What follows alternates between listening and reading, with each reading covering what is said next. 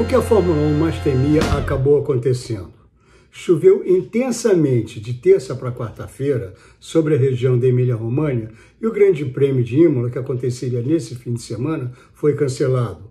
Foram canceladas também as provas da Fórmula 3 e da Fórmula 2. O autódromo em si não sofreu muito, mas a região foi muito, muito abalada.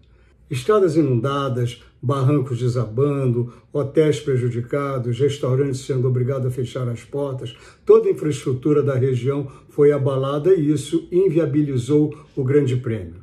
É um prejuízo grande, principalmente para os organizadores e para as autoridades. O esquema era para 180 mil pessoas presentes nos três dias. As ferroviárias italianas tinham programado trens bala saindo de várias regiões da Itália, de Roma, de Milão, até mesmo da Suíça, de Zurique, todas convergindo para Imola. Nada disso vai ser possível. Uma pena, mas convenhamos, a imprudência da Liberty Media, dos detentores dos direitos comerciais da Fórmula 1, programarem uma corrida para essa região nessa época do ano.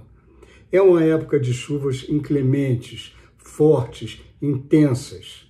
Com isso, o calendário, que tinha começado com 24 etapas e já tinha perdido o Grande Prêmio da China, perde mais esse Grande Prêmio. Um Grande Prêmio espetacular, uma pista muito difícil, sinônimo de disputas muito, muito entusiasmantes. Com isso, o calendário, que tinha começado com 24 etapas e já tinha perdido a China, agora perde também Imola.